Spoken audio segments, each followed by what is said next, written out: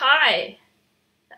I, I'm still alive and, and breathing and healthy, kind of. It, it took me a, a while for me to make this, but here it is. I stopped animating because I was having an existential crisis about how I didn't understand the fundamentals of art and how I could never possibly get a career with it. So I'm coming back.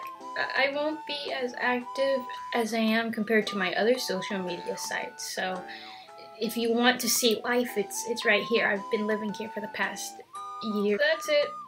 Yeah, okay, bye.